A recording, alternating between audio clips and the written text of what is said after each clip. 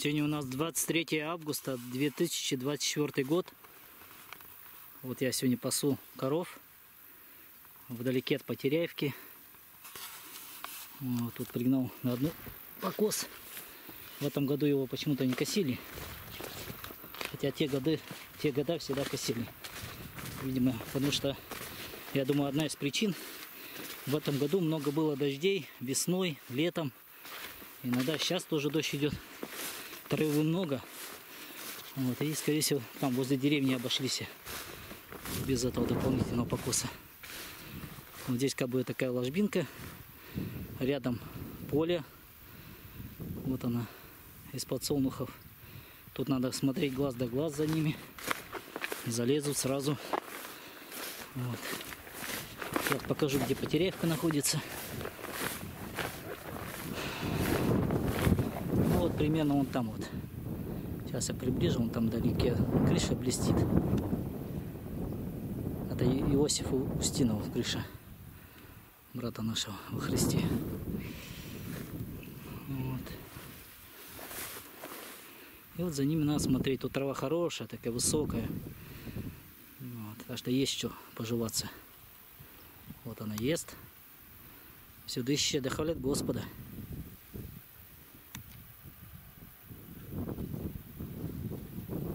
Вот. Это здесь.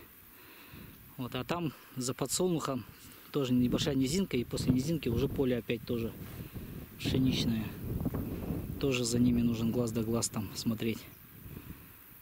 Ну, по крайней мере, хоть прогулялся я. Тут трава вот тоже разнотравие разное. Тоже можно и здесь пасти их поднять при случае.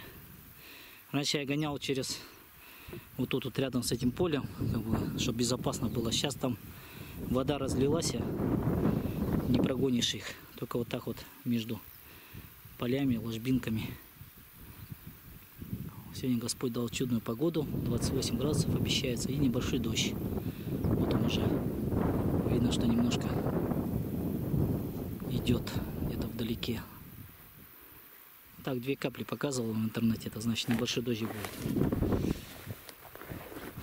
Вот там коровки ходят, вон они. Травы много тут, ешь да ешь. Нет, у них это, это им мало.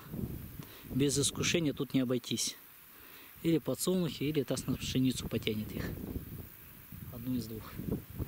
Но я когда те года пас, еще давно уже, на лет 10 назад, там очень много было. Там побольше было коров, 57 где-то примерно, 55-57. А тут сейчас 28 коров. Два, два у нас всего двора. Это Устиновы и Юнчики, у которых коров держат. То есть такой тяжелый труд постоянно нужно терпение такое. Ну, это, видимо, по молитве Господь дает все это. Да и, как это говорится, если ты живешь своим хозяйством, надо как-то выживать здесь в деревне.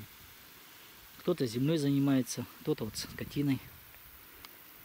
Ну, все вот так вот. Слава Богу за все. Аллилуйя.